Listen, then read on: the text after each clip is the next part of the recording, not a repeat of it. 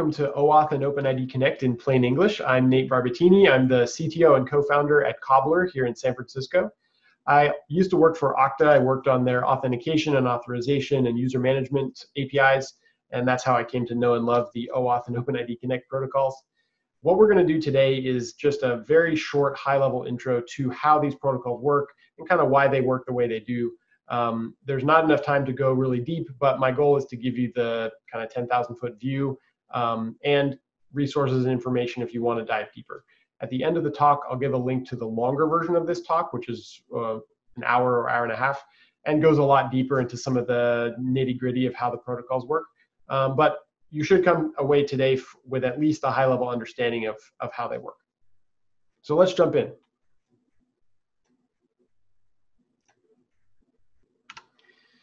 Just to get it out of the way, it's, it's worth saying that these are pretty confusing protocols. Even the folks who work on them uh, find them confusing sometimes. So if you ever have the misfortune of Googling how does OAuth work or Googling like something about OpenID Connect, you may find that there's a lot of difficult terminology, a lot of jargon that's pretty confusing at first. Sometimes you'll find just wrong information, wrong advice. Um, so if you feel that way, if you feel confused by these protocols, you're not alone, believe me um, it's it's pretty confusing for everybody, including myself. So what I found to be helpful was going back and understanding why these protocols exist in the first place. Um, that ended up being really helpful to understand why they work the way they do and some of the quirks as well, quirks of why they work in certain ways, um, maybe why they uh, are misused in certain ways as well. So that's where I want to start today. I want to understand the why, of why these protocols exist to do that, we have to go back in time. Um, before OAuth existed, maybe 10 or 15 years ago, actually, there's a problem called the delegated authorization problem. That's a very academic way of saying, how do I let my, my website that's over here talk to this other website that's over here, and they can share information, share some of my information, um, but I don't want to give my password out everywhere. Now, just to set the record straight as well, when I say sharing information here in the in the scope of this talk, I'm not talking about advertisers sharing information about you like in a way to sell your data or something. I'm talking about totally legit uh, sharing of your data, such as the examples that we'll see here of like I want to share some of my photos to my photo printing service so they can print them out at Costco, or I want to share um, my contacts to some service that's going to go see where my friends are, whatever the case may be. But I'm talking about like legitimate uses of my data. So one of the classic examples of how to do this poorly was back in the day when Yelp was first getting started. Um, they had as part of their sign up process uh, a step where they ask for your email address and your email password in order to go log into your email for you grab all your contacts and send them all like a personalized invite to, to come check out Yelp. Now, sending an invite to all your friends is something that's like pretty common. Maybe you'd want to do that. But the way they were doing it was pretty bad. Um, I'm not just trying to pick on Yelp here. Facebook also did it. Uh, actually, Facebook did it up until fairly recently. Um, but just to be clear, you should not do this. You shouldn't be asking for someone's real Gmail password in your application so you can sign in as them and then access their email or contacts or whatever. But at the time Yelp was building their application originally, there wasn't a better way to do this. There wasn't a standardized way for some application, some third party like Yelp or whoever it is, to go talk to Google and say, hey, I don't I don't care about seeing Nate's email and his maybe photos or calendar or whatever. I just want to see his contacts. And I, I don't need to delete them. I just want to read them. I just want read-only access to his contacts, for example. There wasn't a way to do that, so they kind of hacked around it by asking for your password. Not a good plan. You should not build it like that. and fortunately, they don't do that anymore. The reason they don't do that anymore is because there's a much better way of solving this problem now. To solve this problem of asking for permission to see like a little bit of my data or a specific piece of my data. The protocol, which is now known as OAuth 2.0, was invented. That was the problem it was invented to solve. And we're talking about authorization here. We're not talking about authentication quite yet. So let's imagine what it would look like to solve that problem today.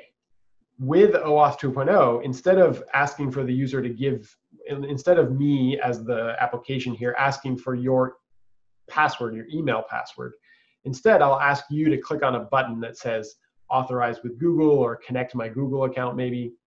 And what happens when the user clicks on that button is that their browser gets redirected over to accounts.google.com. Now they may be asked to log in there, but at least in that case, they're giving their password to Google, not to Yelp or whoever, some you know third party. Um, then they may or may not be asked to log in depending on whether they're already logged in. But the important step is that they'll be asked for this explicit step of giving consent or confirmation that this is actually what the user wants to do. Now, you've probably seen this screen before. You've maybe seen it on Facebook or on Google. You've probably seen it a bunch. Do you want to allow, you know, X application, Yelp or whoever, to access your blank, something, some list of things that they're trying to access?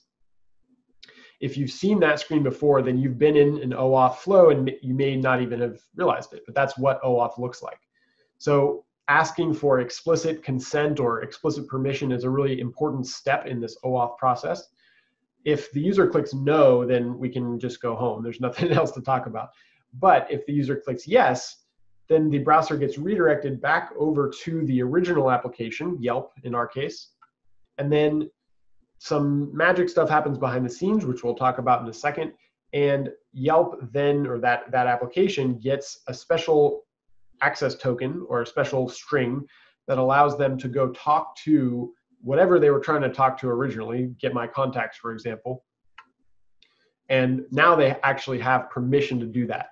Normally they wouldn't be able to, but because they have this special token, they are able to. Now, if you can understand this, what we're seeing here, this whole four step or so process, you can understand all of OAuth 2.0. This is actually the whole thing. Um, there's a lot of terminology and jargon and kind of uh, nooks and crannies of what we're looking at that you can get into and go pretty deep on. But if you just zoom out to the high level, this is how it works.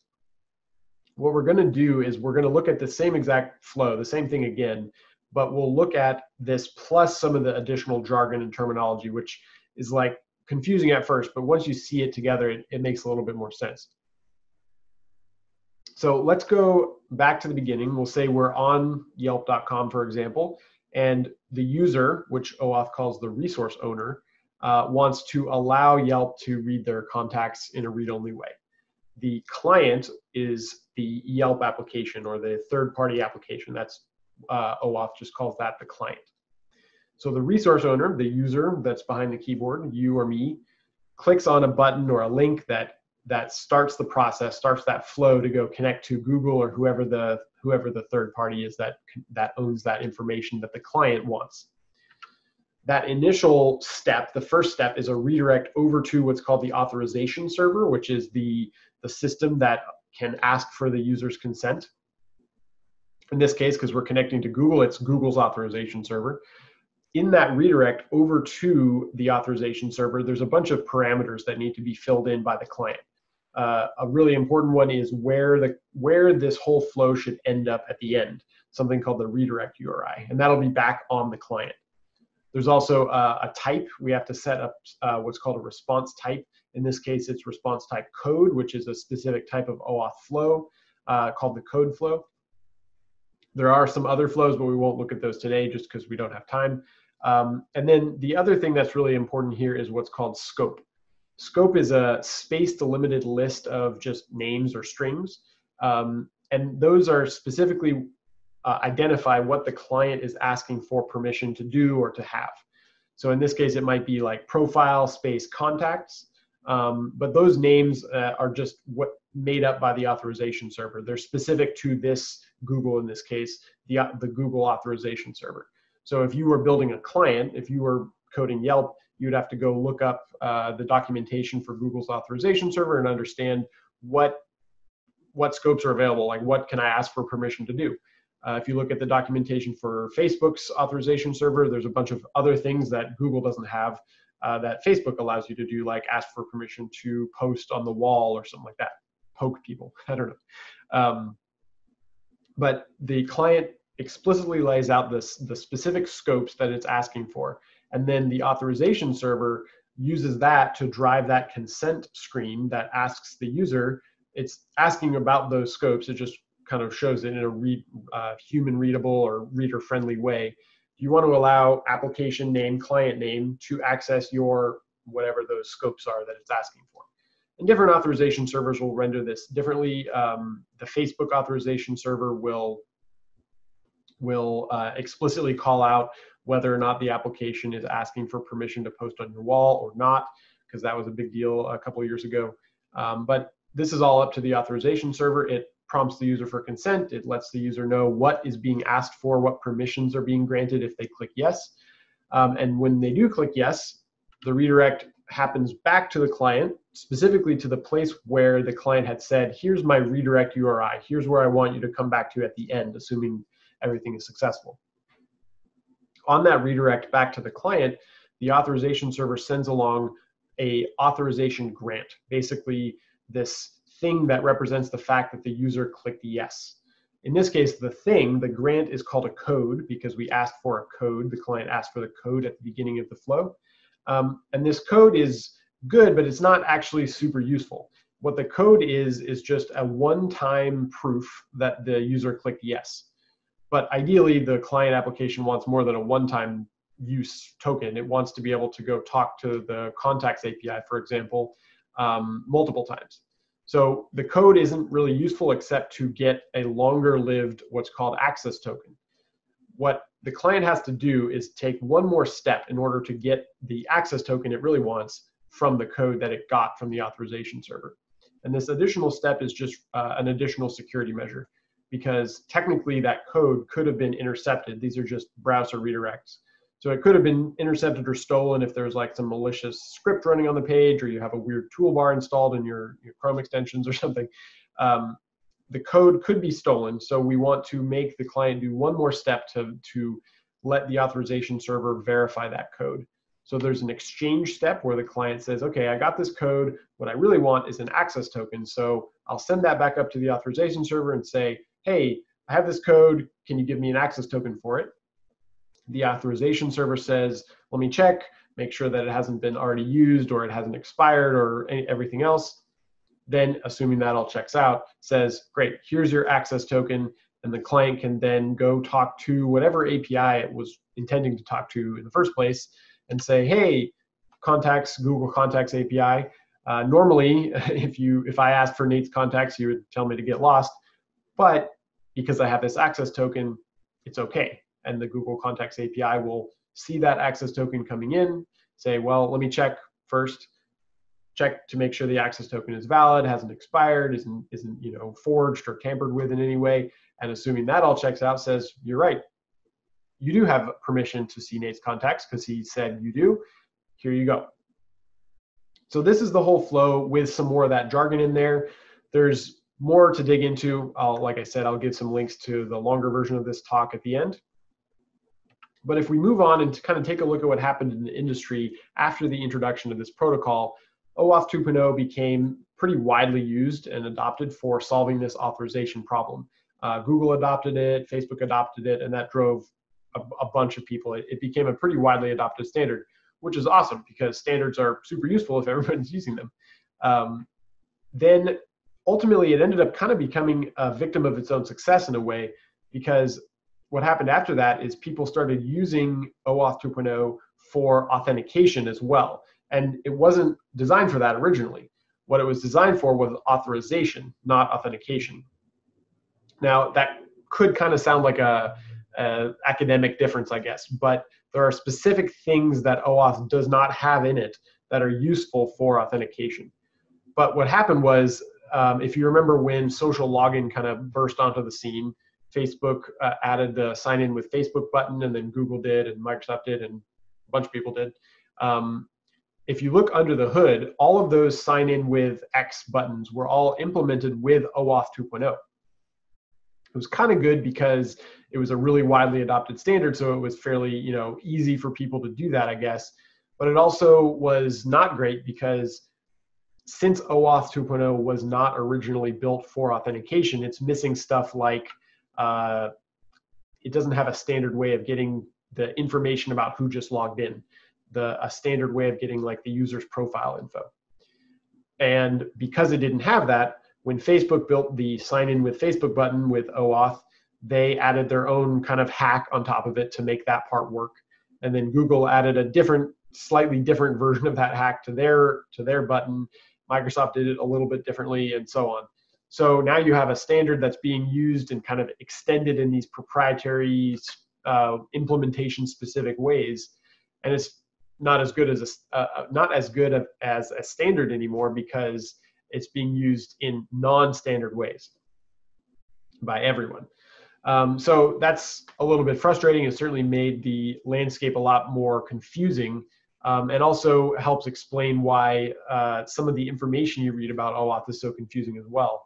Because when you look closely at what blog posts you read or information you read about OAuth, half the time it's talking about the original use case of authorization, you know, asking for permission, and the other half of the time is talking about authentication, uh, logging a user in, signing a user in, or si- single sign-on across websites or something, um, which again is not what it was originally designed for. So to help kind of untie that knot or solve that confusion, some folks went and said, look, OAuth 2.0 is obviously very successful. It's very popular. It works really well for what it was designed for. But it's got some gaps. It, it, doesn't quite solve this authentication piece, but it's clear people want something that does solve that authentication piece because they're like hacking up OAuth to do it. So in order to kind of standardize all those hacks that people were doing on top of OAuth, that is where the the impetus and the effort and the ultimate result of building a protocol called OpenID Connect came from. So OpenID Connect is nothing more than a fairly thin layer or set of extensions on top of OAuth. It doesn't deprecate OAuth. It doesn't really replace anything. It just adds some additional uh, endpoints and additional behaviors on top of OAuth 2.0 using the existing mechanisms that are already in place. So if you understand how a OAuth flow works, you already already know basically everything about an OpenID Connect flow, except for the like 10 or 20% additional that you have to understand about the specific way that OpenID Connect works for authentication.